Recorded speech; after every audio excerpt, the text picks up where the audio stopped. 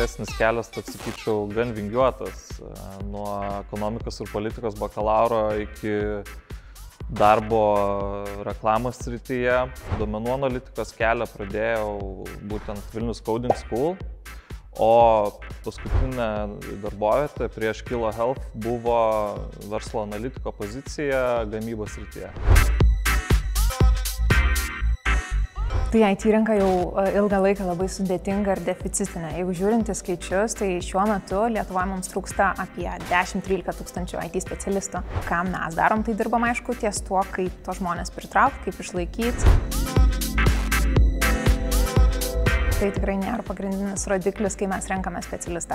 Pagrindiniai faktoriai tai vis tiek yra um, asmenybė, emocinis intelektas, noras laimėti, rezultato siekimas ir to joks diplomas turbūt neišmoko.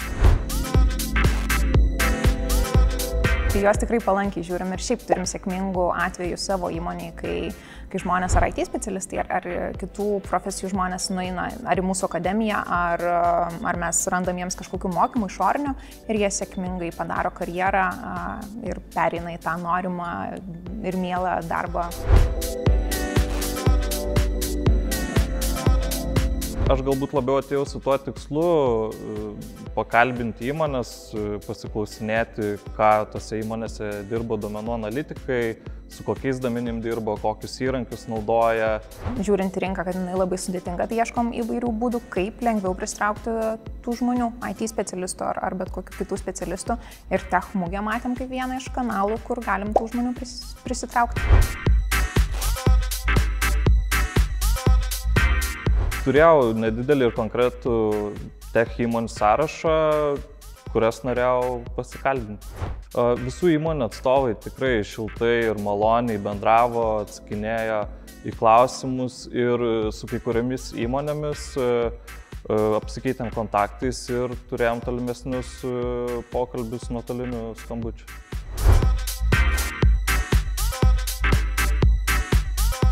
Tai žiūriu į rezultatą. Mums atnešė tris sėkmingus darbuotojus į mūsų įmonę. Tai palankiai žiūrim ir manom, kad ateityje irgi dalyvausim.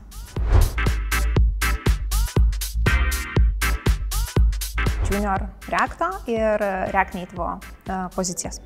Ateityje planuojam ir, ir daugiau junior pozicijų. Dirbu duomenų analitiku, Tai dirbu, tvarkau, analizuoju duomenis ir iš duomenų pateikinėjame įvairias verslo išvalgas, e, padedam sprendimų prieimėjams primti tos tokius data-driven sprendimus. Linkėčiau, na turbūt padaryti tą pirmą žingsnį, nueiti ir pasikalbėti su įmonio atstovais. Jie tikrai atsakys visas klausimus, išsklaidys visas abejonės ir galiausiai gal net ir darbins.